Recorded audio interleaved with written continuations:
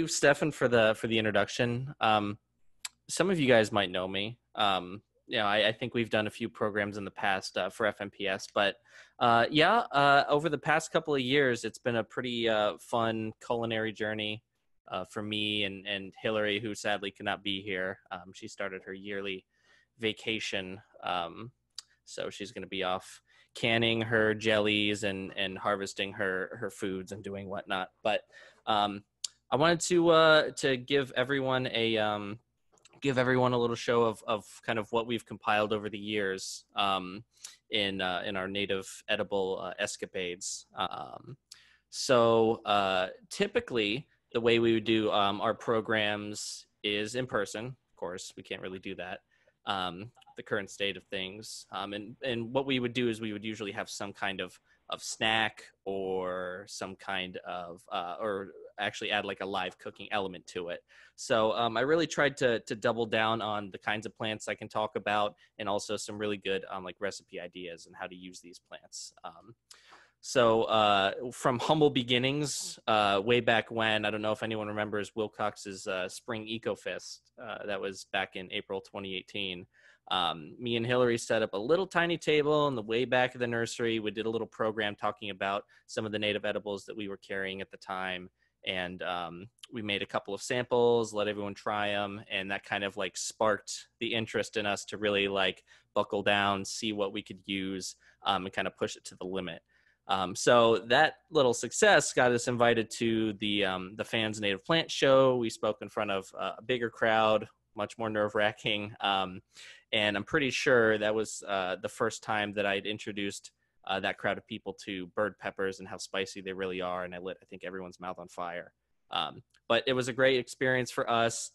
And that that success um, spawned the the first iteration of our cooking with native plants program, where if you can see the picture, I kind of set up a mock kitchen.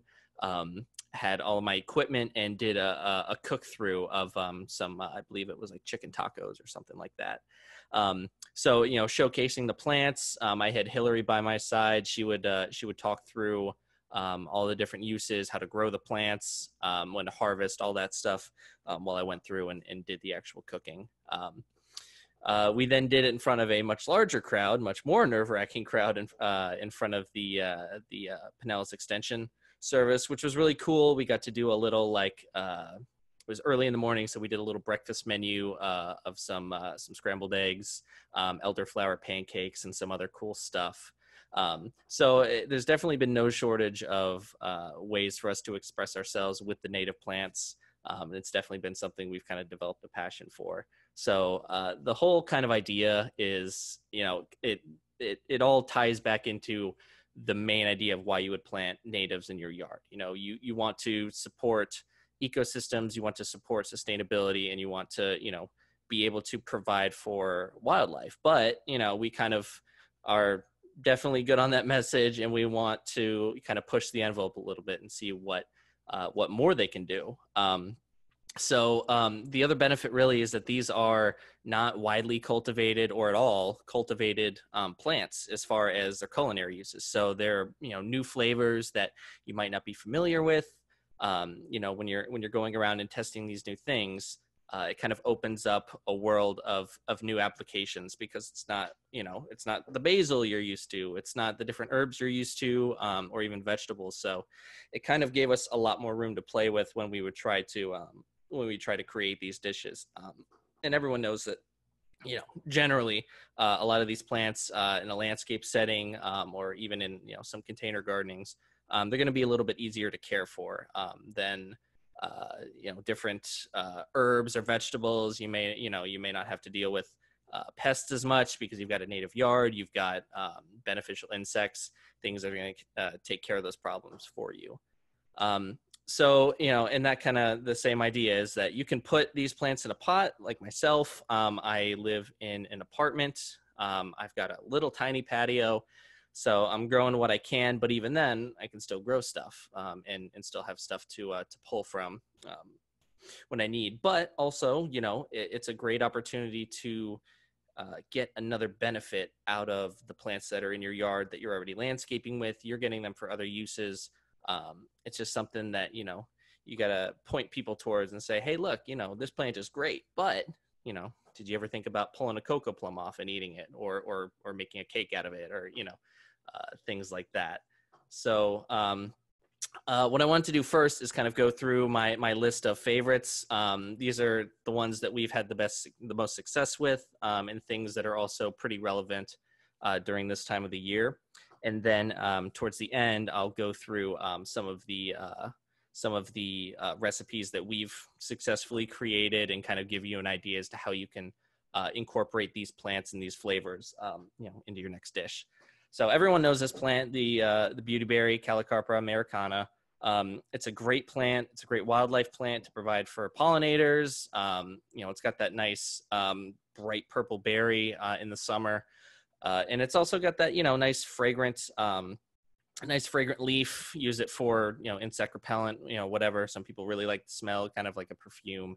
Um, but this one's great. Um, the berries, uh, when you, especially when you cook them down, you know, they're small but mighty. So when you throw them in a big pot, um, cover them with water, boil them out, and then you can start adding like sugars and pectin, make jams or jellies. Um, it's got a very like floral flavor, um, and and when you can add, of course, a whole bunch of sugar, um, it can really bring out that that nice floral note. And it, you know, uh, Hillary always says uh, whenever she cooks it, it just perfumes up her her home. It's got this wonderful fragrance, um, and you know, it's not a flavor that you, you, see on the shelves at the at the supermarket. It's something that you can you know feel very special about that you're you're making it your own, and that it's it's a very exclusive kind of flavor. Um, and uh, I've got examples of of what we've used. I think all of these plants for um, in here. So um, you know, that's a pretty common one. I think we all know about that. Um, the next one uh, that I've got is uh, a wild basil. That's um, Ocimum campechianum. It's a uh, South Florida species. Um, uh, we've seemed to do pretty well with growing it up here. Um, not too many problems keeping it alive. It's just that uh, we tend to sell out um, of the plant before we can really um, understand that you know that was our last one. So then we got to scour around the nursery, try and find seedlings. Um, we have a hard time keeping track of of mother plants and and so that we can keep production up. But um, this is a plant that um, certainly uh, has different sort of basil flavor to it. Um, it's a lot less earthy. It's it's kind of more uh, along the the lines of a straight mint. Um, but it does have it does have kind of those like basil overtones. It, it's more in line with like a, a Thai basil um, with just a little bit more mint in it. But it's got a really nice flavor. Um, really good to use for like um, savory dishes, um, uh, like uh, Asian cooking. Uh, it's really I, I, found some pretty good use um, in that uh, in that realm. And it, it's a fairly easy plant. It only grows to about like two to three feet tall. like sun, and once it's established, it's pretty drought tolerant. So that's one of our favorites to use for, um, you know, as an herbaceous, an herbaceous plant. So in, in spreads, like fresh herb spreads, um, or used for flavorings of teas and stuff like that. That's kind of what we've done um, with that. Um, another one that you're probably familiar with, dotted horsemint, is another great plant. It's an absolute monster when it comes to um, pollinator plants. This thing is fantastic. It's got a beautifully intricate flower, and you know, as this thing grows, it, it can develop into a pretty sizable plant, like three feet by three feet. Um, it is an annual, so you may have to, um, you know, just wait for it to pop back up from seed in the spring. Um, but this is a plant um, that's very similar in like composition to an oregano. It's got a lot of thymol in it. It's it's kind of got that um, that kind of mintiness too. Um, now, this is one of those plants that's extremely potent. So, um, if you were to go out and use this, if your recipe calls for like a tablespoon of oregano, um, and make sure it's fresh oregano, not dried oregano, because dried ones have kind of lost a little bit of the, they've kind of lost lost a little bit of their um, intensity. Um, this is something you would want to cut like in half. Um, you know, only use half of uh, the required amount um, if you're if you're substituting for the horse mint.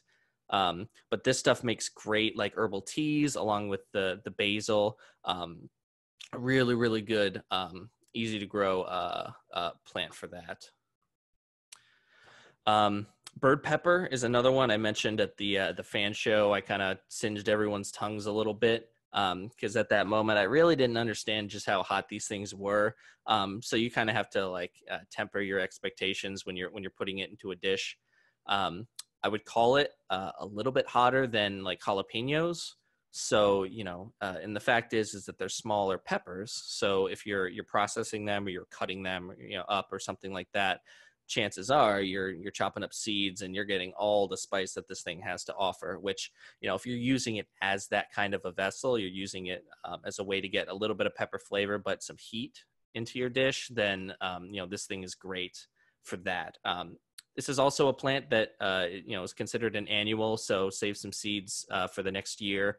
This thing produces, like the picture shows, a whole lot of peppers. Um, grows to about three to four feet tall, and this is something that you know everyone uses peppers in everything. You can throw it in salsas. You can um, uh, do chimichurris, which is great. It's kind of like an olive oil based um, like pepper marinade or sauce um, and i've done that before to great success um, the first time I took this stuff home and I tried out cooking with it, um, I had blended up, uh, you know, some of the herbs, uh, peppers, and some olive oil in a blender, and you would marinate like a steak in it, um, and then just throw that on uh, like cast iron or or stainless steel, cook it through, and then if you had any like residual um, uh, sauce that you would left aside, you could top it with that. But um, I didn't realize how hot they would be and just how exposed all that capsaicin inside of it would be. So the first time I threw it on a, on a hot cast iron, it basically just like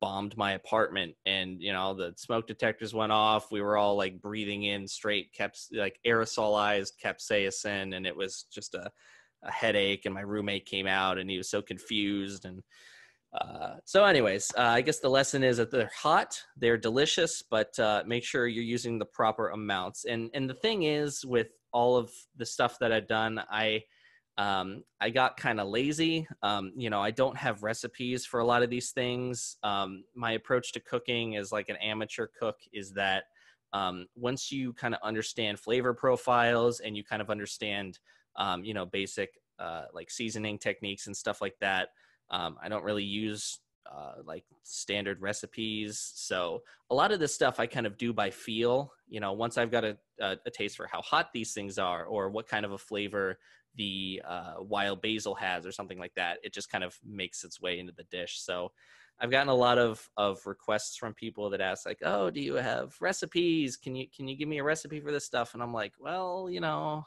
I, I don't really because I just kind of cooked with it, but um, so anyway so it's it's kind of like an as you feel it out as you kind of experience it you you you're able to to understand it and use these um, plants. Um, so the next one is uh, meadow garlic. Uh, this is allium canadense and and this one is uh, a little tiny um, annual garlic um, or, or onion i should say. It's called meadow garlic but it's really just an onion. Uh, and so um, you can use the greens just like you would chives um, you know cut them off pinch them off chop them up, throw them into like an omelet or, you know, to give you that fresh oniony flavor. Um, or uh, once they start going dormant, once the, the, the leaves start dying back, you can um, harvest the bulbs. And they're little tiny pearl onions. They're about the size of a quarter. Um, you know, you can get plenty of them. They definitely produce quite a bit if you've got, um, you know, a, a, number of plants. Um, they're great for pickling. Um, you can chop them up and use them as is. Uh, Hillary, I'm sure, will be doing a whole lot of that um, during her vacation. She's got all of these plants uh, in her raised beds, uh, and this is about the time of year that she's doing that. So I don't have any pictures of, of these things being uh, pickled or processed or, or anything like that. But um, once we get further into it, um, we can kind of go over um, how to process these things as well. Um, and, and these being an annual and a, and a, an onion or garlic, um, once the flowers are done and the um, the heads have started to set, that's going to be um, your set for the next year. So you'd save that, plant it out, and then you know regrow your onions from that. Um, so the next plant we kind of came across, and this was kind of a fun story, um, is creeping cucumber, uh, Melothria pendula. Um, it is a widespread annual, pretty much all over the state. I think in every single county. Um, and this one we came across you know it's not widely cultivated or or available from any wholesale growers um, my mom a few years ago had asked me to come by the house and do some maintenance around the place. And she said, Davis, there's a vine that's growing on the AC unit. Can you just get that off? And and the, you know that was the one time I had ever been by to do any sort of landscaping at my parents' house. And I pulled it off, kind of noticed as I crushed it up that it smelled like cucumber. So I, I took a sample, took a couple pictures, brought it in um, into the store, and ID'd it and turns out that it's it's a member of the cucumber family, a Melothria. So um, we grew it out. Um, we grew it out and found out that yeah, they do produce little tiny um, green cucumbers. They're about the size of your pinky nail, um, and uh, these vines are incredibly prolific. Um, you know, they're they can grow six, eight feet on a trellis. Um, and uh, later on in the summer, they'll produce a whole bunch of these little tiny cucumbers and they're you know they're great to eat out of hand if you want um, we saved enough to make a few jars of little tiny like bite-sized uh, pickles which were fantastic um, so this is a really cool kind of plant that we discovered uh, and a great one to, to add to little salads um, little tiny cucumbers or or like i said the pickling is great um, and i've got a great use for this um, that i came up with uh, a little bit later in the uh, a little bit later in the program. Um, so elderberry, I'm sure, is something that everyone's familiar with uh, as well. Um, it's pretty versatile in its um, uses culinarily. Um, I'm sure people know of elderflower this or that, you know, liqueur or or um, like lemonade they sell to um, and also the berries that come after are are you know have really good like antioxidants and like medicinal qualities so those are pretty widely used um, but we've done some experiments with this because we've got a pretty sizable shrub um, on the property.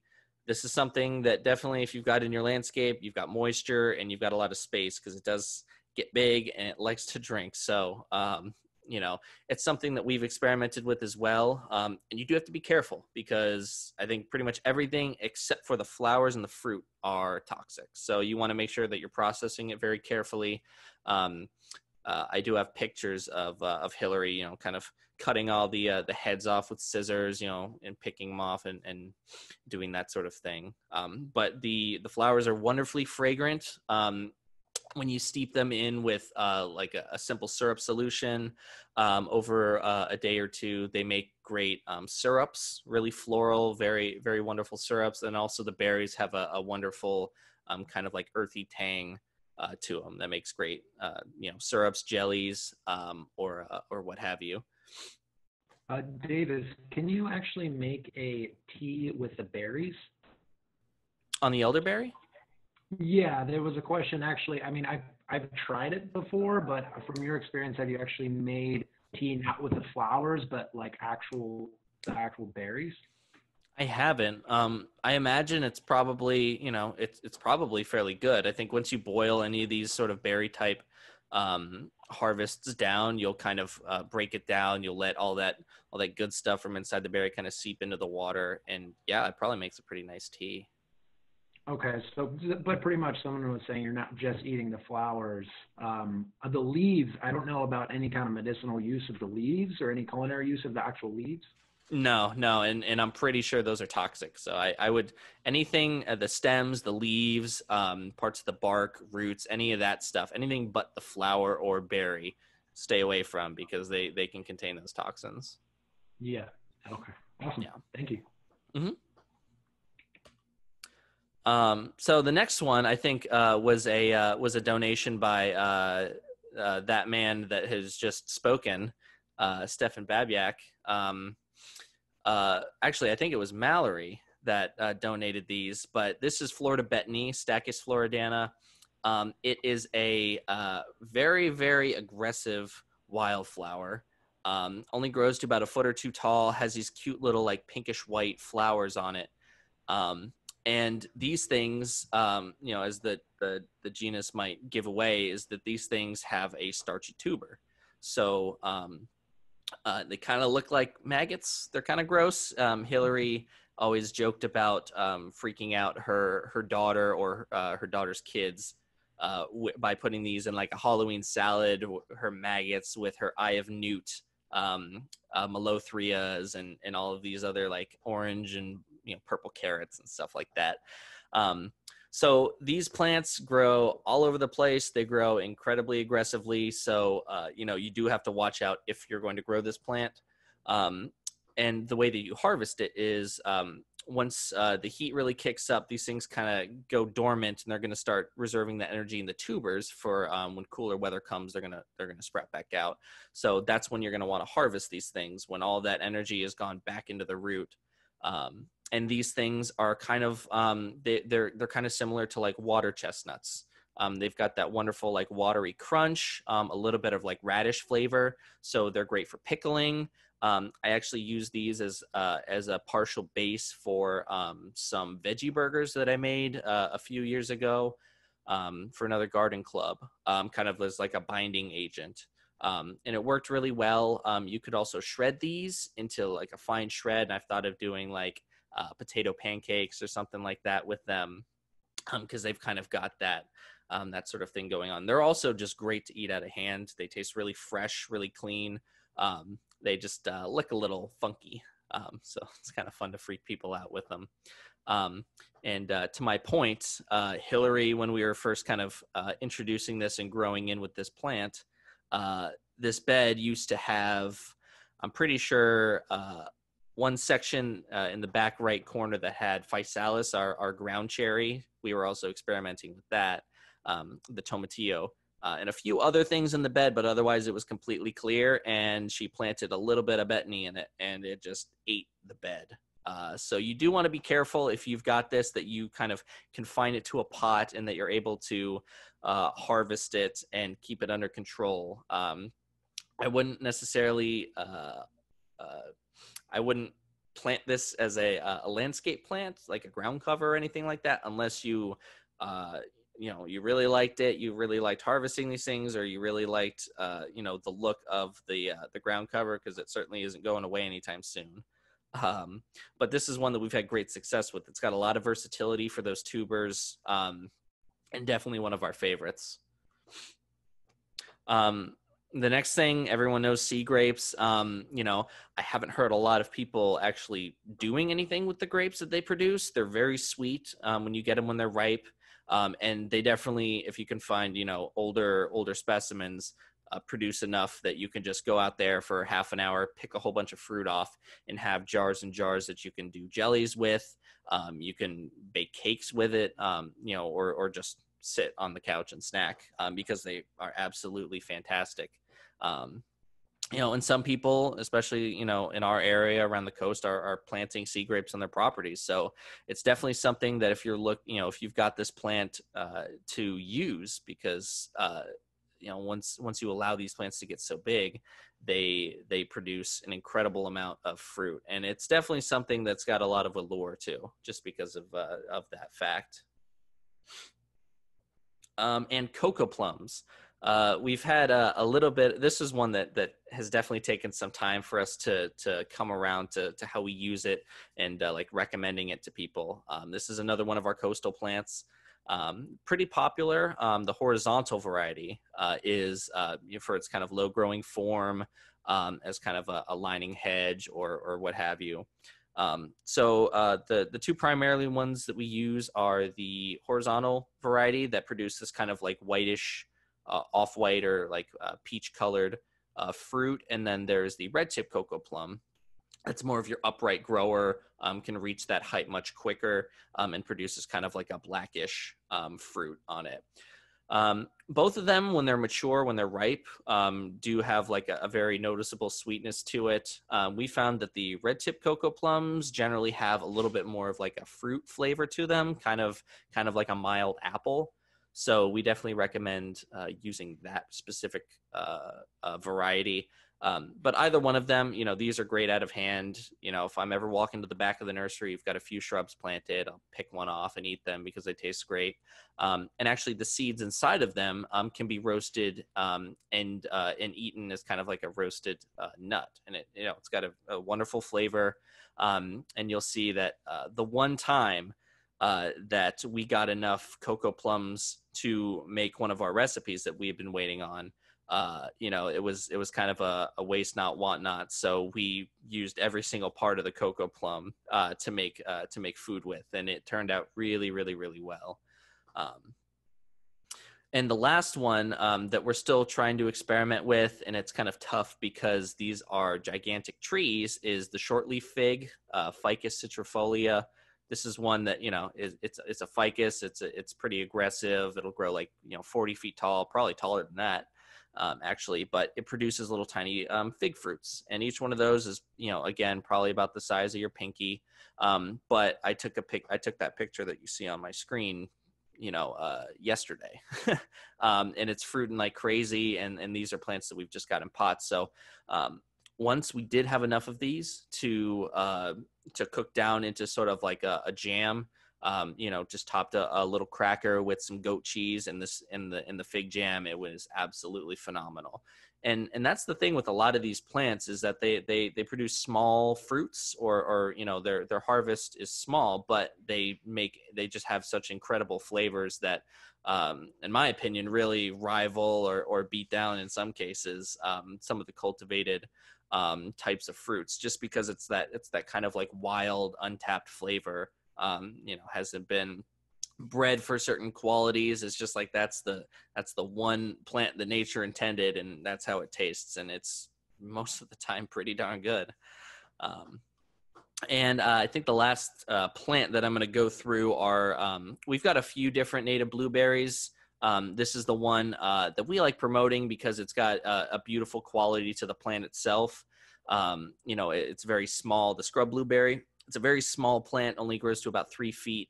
Um, Love Sun, it's got this beautiful like silvery green foliage, and and as the new growth emerges, it's this um, light purple color, uh, and it's absolutely beautiful. Um, great plant for the landscape, but once it um, flowers in spring, fruits in the summer, uh, it's got these little tiny blueberries, and it's and it's almost like you're you're mixing a blueberry flavor with with like a hint of, of rose or rose water. Um, it's got this floral note that's just absolutely unparalleled and you know the problem is is that because these plants don't grow so big you know you would need a few of them um, and go out there and, and fight the birds uh, for the berries um, save enough in your freezer to be able to cook down and make a jam but if anyone ever does this they can email me back after they've done it and tell me how amazing it was because this is i think the single most uh, delicious native plant thing that we have ever made. It's it's absolutely incredible, and I can't I can't uh, uh, uh, overstate that enough. Um, so yeah, you know, and we've definitely got pretty easy access to all these plants, but um, for the most part, all these plants are pretty easy to grow um, in a landscape setting. Some of these are pretty adaptable to um, to container gardening as well, especially some of the smaller basis plants. Um, the scrub blueberry, I potted one of those up uh, a few years ago in a pot, kept it on my patio until I realized that I had too much shade and it wasn't happy there. So, um, but a lot of these plants are very easy to keep um, in containers like you would normal vegetables or herbs or anything like that. So it's kind of a fun way to experiment with new flavors and, and try new things. Um, so I do have a few more that I have to go over because there is some misconception about are they native? Are they not native? Um, Everglades tomatoes, despite the name, are not native. Um, they are naturalized, so you could find them out in the wild um, if you went and looked in certain places. But uh, they make absolutely tasty fruits. They are just packed with tomato flavor. They've got a really, really uh, hard tang that hits you, and they're fantastic. I, I haven't had enough to to make like a, a tomato sauce out of them, which I really wanted to do. Um, just seemed like as we were collecting these, um, you know, it's one of those plants that we kind of lost track of um, production wise. So we never really had enough. But once you've got these plants um, in your yard, it's definitely very easy because they reseed easily um, and they're just they're just incredibly tasty. Not native, but great for your garden. Um, and the other one is Seminole pumpkin. Uh, again, not native. Uh, naturalized in I, I think a lot you know, a lot fewer counties, but uh, even still a few counties. Um, but they make great squashes. Um, this is something that we used in uh, a few of our demonstrations for our cooking uh, programs because you know they're a great squash. They've got great flavor and they've got pretty big, you know, they're pretty big fruits. So you know you get you get a good amount of yield out of these things too. Um, so uh, you know now that I've rambled on about all the plants, um, I'm going to go through the fun stuff and show you uh, all the ideas, all the recipes that we've kind of uh, collected and, and gone through. So the first year, um, that first spring Eco Fest, um, we did a few different um, things. We made uh, Yaupon teas, which are absolutely delicious. You know, you just grab a few leaves from your Yaupon, toast them, or don't. You know, you can make a green tea out of them as well, um, and then steep them. Um, but one of the other um, accompaniments I had for that was a, a uh, cream cheese uh, and herb spread. So that was just a little tiny chunk of of homemade bread, of course.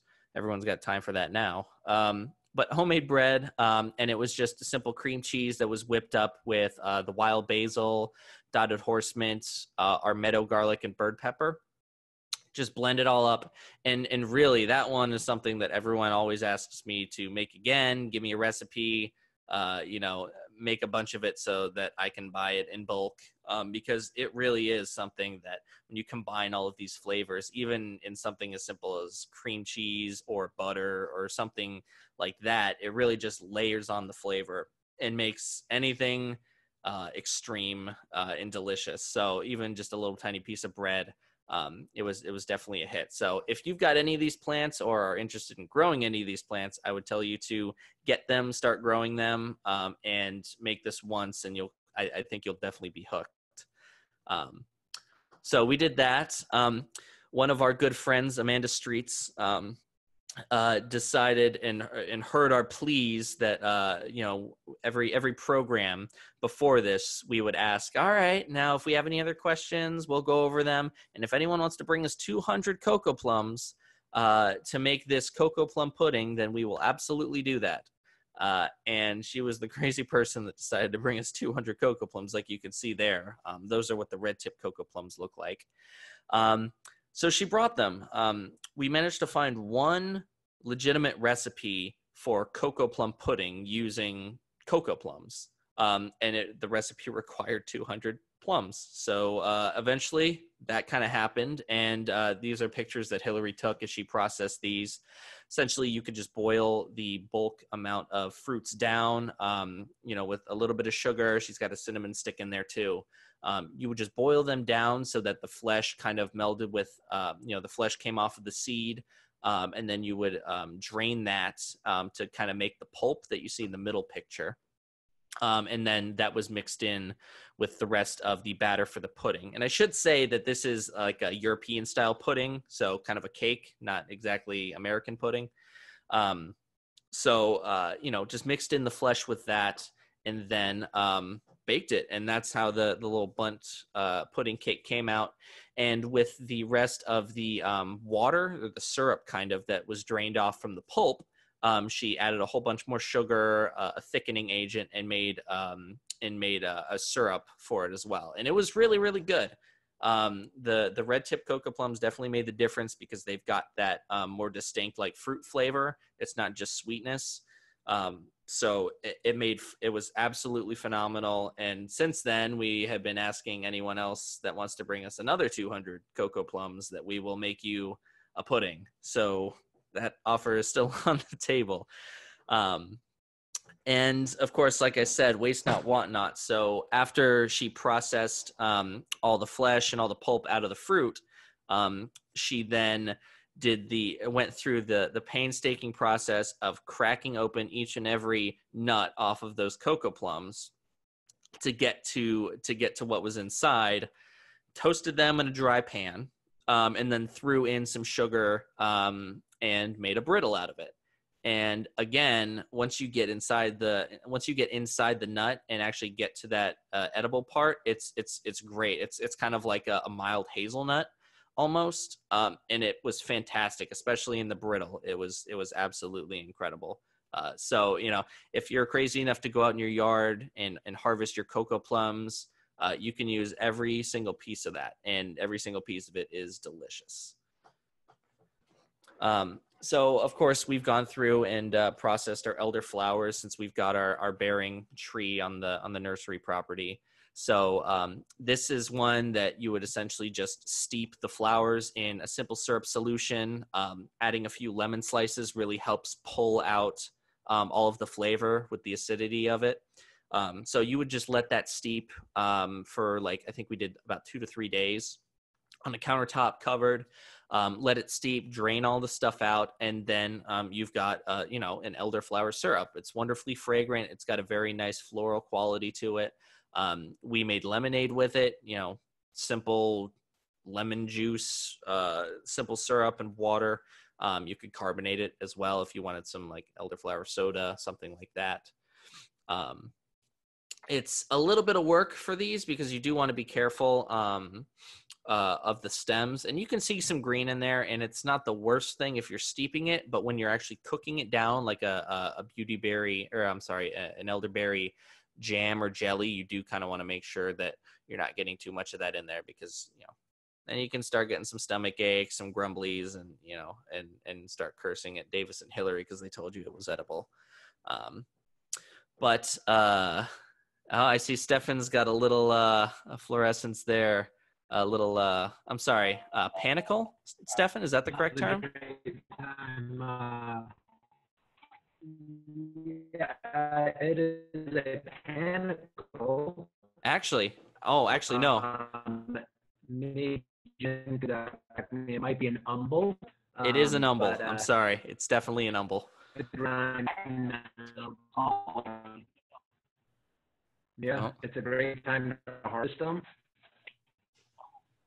It's an umbel. Okay, so it is an umbel. It's, uh, uh, that's the um, arrangement of the flowers, and um, awesome time to harvest them, and they're just they're just incredible. Uh, and I was just gonna say, lucky enough that I tried all those recipes that I just showed, and they were all amazing. So I can vouch for it. Actually, yeah. I'm uh, now that I, I think about it, I'm pretty sure Stefan's been along for all of these different rides that we've been on. Uh, so uh, if anyone doubts any of the uh, any of the uh, uh, integrity of our experiments or or how these things actually turned out, uh, I've got I've got him on the inside to vouch for me. so um, with the um, with the um, cucumbers, this is what I kind of devised um, to to do for this, and I think this was actually our um, this was actually one of our our um, our hors d'oeuvres that we presented last year um, for um, for this chapter. Uh, so uh, essentially, we roasted. Uh, I roasted a few um, Seminole pumpkins. Again, I know they're not native, but they're definitely tasty, and we had them. So I had this idea of a crostini, um, a little you know bagel chip or whatever, with a uh, a base of uh, herb spread, uh, a roasted vegetable, and like uh, something pickled to add that kind of uh, briny saltiness uh, to the rest of everything. So I roasted some Seminole pumpkin uh, with a few of the herbs. You would just I just tossed it with olive oil after I cut it up um, with some of the herbs uh, that we've mentioned before. Threw it in the oven. Um, and we had a few jars of our native pickles that I cut in half, um, kind of like a caper, you know, like a just that kind of briny saltiness.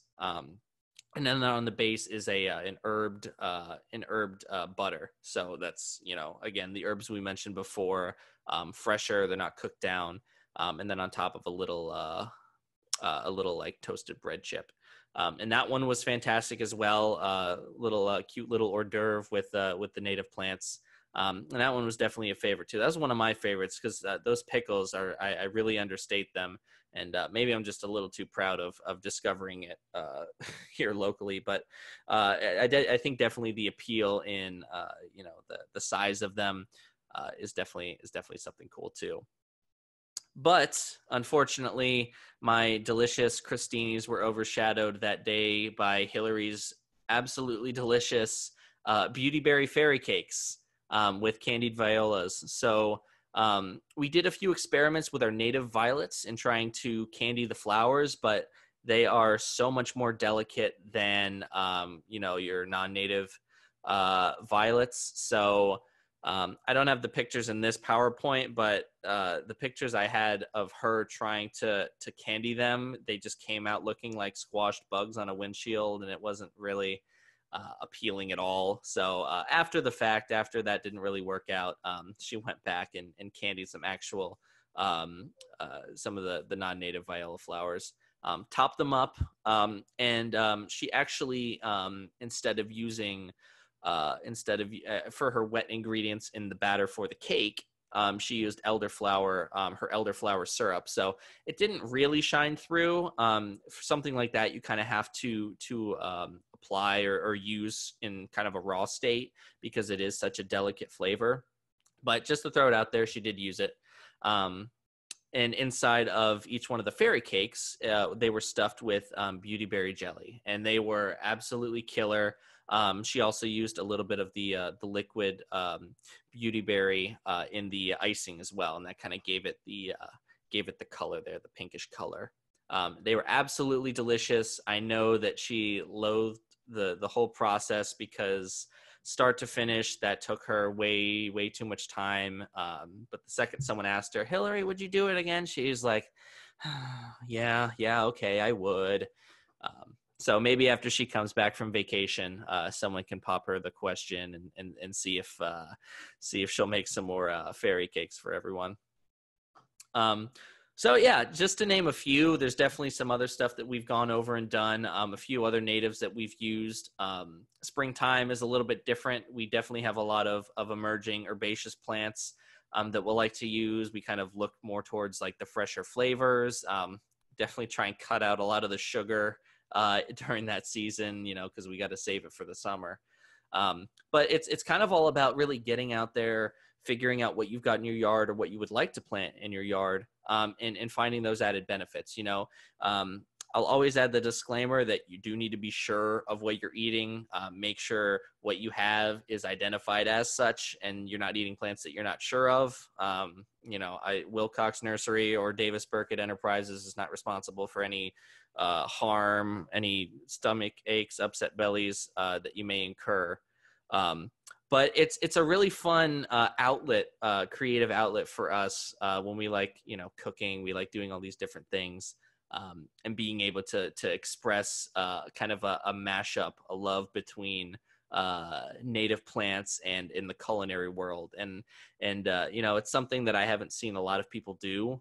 So I definitely feel very proud to be able to to take part in it and and kind of spread awareness for uh, not just growing plants for the wildlife, but for you too. So, um, that was uh, that was awesome. Um, you know, and I just wanted to uh, um, uh, thank you and and for coming on this uh, this journey that you that you've done. Kind of bring it. You know, there's people that have written books about if you're trapped in the forest, you can eat bark until someone rescues you or something like that. But you're kind of taking it, saying that these things are are delicious in their own right and can be uh, elevated to um, a really uh, um, uh, almost like you know fancy fancy level, but but can just be really good on their own.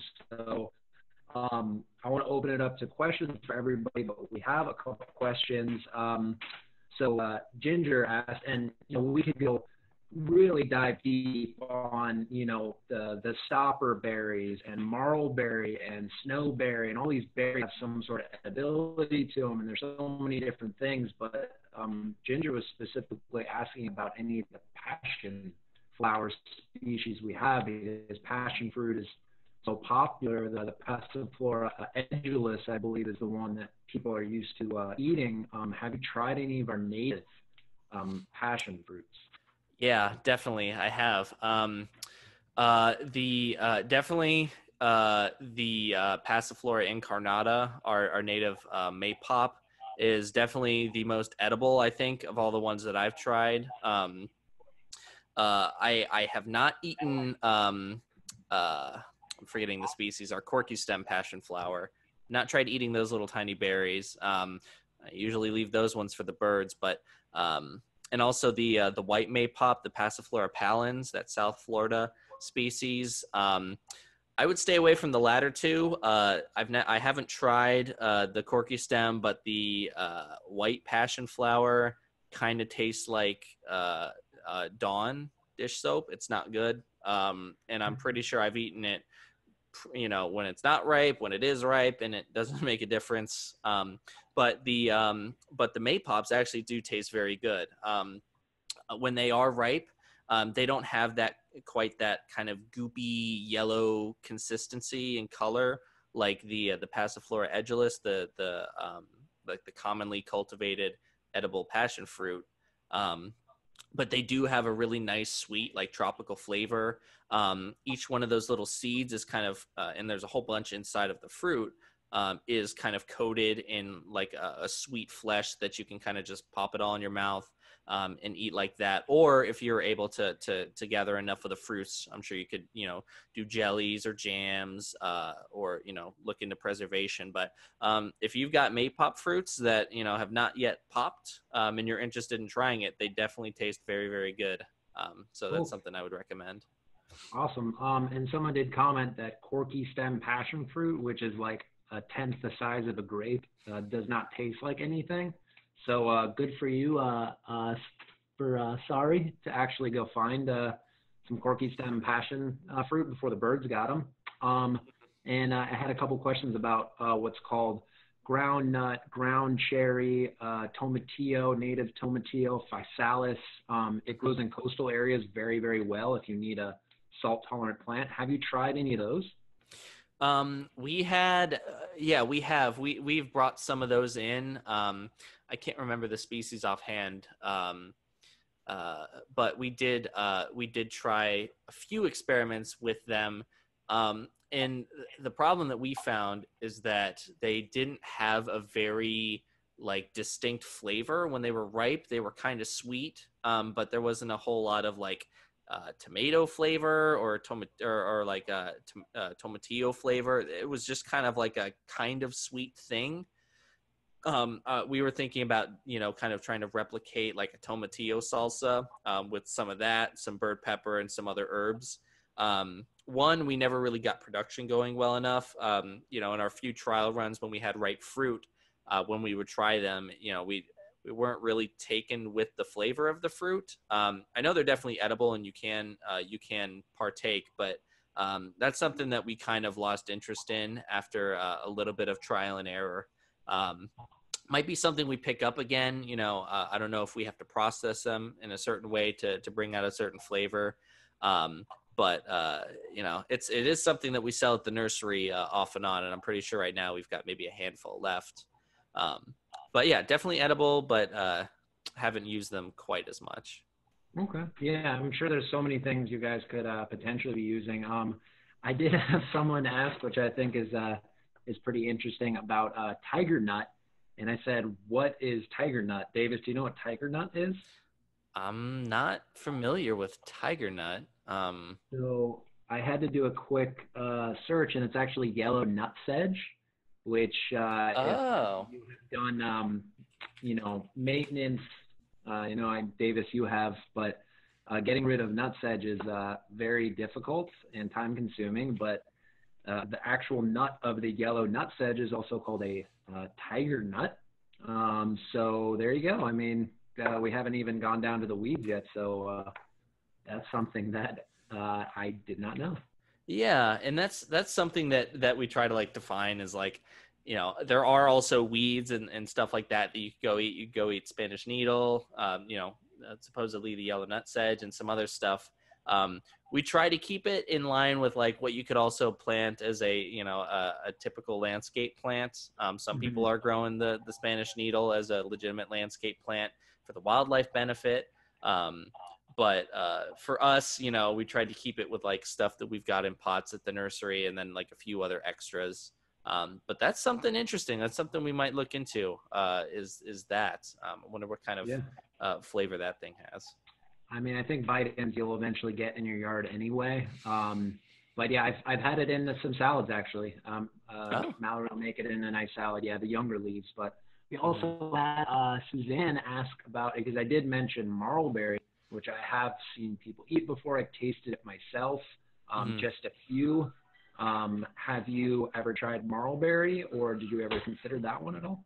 Yeah, um, we I have tried marlberry, and I think it actually is a pretty um, distinct flavor. Um, the one thing, the one kind of roadblock that I found uh, in like my early testing, my scientific method, is uh, is that uh, you know they are small fruits, and uh, a good portion of it are seeds, and the seeds are pretty bitter. They've got a lot of like tannin in it or something that kind of goes through the mouth. So. Um, I was working. Um, I was in contact with a, a local uh, a local couple that make um, YouTube videos, and um, had worked with them on getting some natives into their yard so that they could kind of incorporate it into um, into their videos. Um, they make a lot of wine um, and ales, meads, and stuff like that. Um, and I talked to them, and they were interested in trying out using the um, using the marl berries to make a wine. And I thought that was really cool. Um, I did kind of lose touch with them, so I'm not sure where that is in the process. If they've tried it, if they've had success with it. But uh, it's definitely something I think has has some validity to it. I think the fruits taste really good if you can just kind of like bite into one and work your way around the seeds without without crushing them and kind of getting all that bitterness um, across your palate. I think they're really good, and and I think that's something that this year, now that we've gone through kind of what we have already, we're going to start looking for stuff like that. Um, some of the other berries. That's great. Yeah. Well, we're all looking forward to trying the marlberry wine, maybe some stopper mead or something. But uh, um, so uh, Katie had a good point um, about people who have pet birds, which would probably translate over to uh, birds out wild. But she said that uh, the pets uh, like the tomatillos from the store, so she was considering growing our native physalis to potentially feed to her uh, pet bird. Um, but that would also probably mean that it's a good food source for birds. And then um, Jan had mentioned that the tomatillos should be very ripe. So don't eat them. Usually anything that's green, you know, plants will have defense mechanisms. They don't want to be eaten until they're ready to be eaten. So you should probably never eat anything that isn't ripe anyway, but Jan mentioned that. So that's a, um, that's a really good point. And um, Davis, I was just, I was curious, you know, as you're going through all these different uh, native plants and, you know, everybody knows about all the problems we're having with, um, with citrus. I mean, is it crazy to think that one day you'll be the baron of a 10,000 acre cocoa plum plantation somewhere? No, I mean, you know, uh, me and Hillary have already run through scenarios where you know the apocalypse happens and people are are are throwing like bottle caps at each other as currency, and they're trying to fight for the last like morsel of of canned tuna, and what we've decided is that we would, um, you know, find a plot of land um, in secret that we would plant with all of these plants, and then um, basically rule all of Pinellas or the world because we have, yeah, yeah, we were prepared. Yeah. Well, uh, Davis, that went down a dark road very fast. I appreciate what? that. what did I say? Uh, so I like blacked out for a second. Do you think it was actually a a uh, commercial uh, one day a commercial uh, um, industry potentially for something that's actually big like a really big cocoa plum if they could breed varieties that actually have more flesh on or something like that i mean especially an edible nut as well mm-hmm. yeah i mean that's something that you know i think we only tried once um, uh, you know processing wise because uh, we were real you know we don't ever get enough fruits on um, you know potted plants in the nursery, much less um, the few specimens that we actually have on the on the property. Um, so the one time that we were really able to buckle down and and go through a recipe, uh, I think it turned out really really good. Um, but yeah, I mean, I think I think it's something that you know if more if if if more people you know start to pay attention to stuff like this that they can they can really start um, introducing yeah more um, cultivated varieties of like all right well now we're growing cocoa plums for fruit production uh, and and other things like that. But even even as is if you've got you know a hedgerow of cocoa plum that's i think that's plenty of plants to produce enough fruit that you could make a cake or you can make brittle or you know uh, you know whatever you really wanted to do. That's awesome. Um, and uh, thank you, uh, Deborah. Um, and again, yeah, everybody's saying, you know, thank you very much. But uh, do you see any recipe book potentially um, that you and Hillary could put together, and maybe I can be the editor, the food taster for something like that? You're just trying to get in on this, man. Uh, yeah, I mean, we've definitely talked about doing a sort of recipe book. I mean, maybe a loose recipe book um, if we've got the time to really sit down and actually um, produce legitimate recipes, it's it's it's the only problem really with making is that we want we would want to make a legitimate cookbook or recipe book if we did this, which means we would want to do trial and error, make sure that the recipes are as good as possible, you know, test a few different quantities of this or that.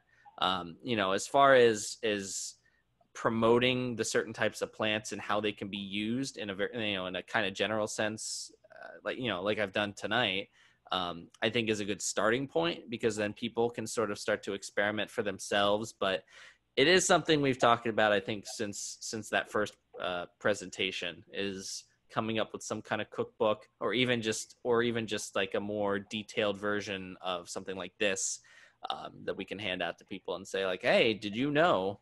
Go try it you know? Well you would have a lot of supporters um, and again i just want to thank uh, thank uh, davis for for coming out here and doing this awesome presentation and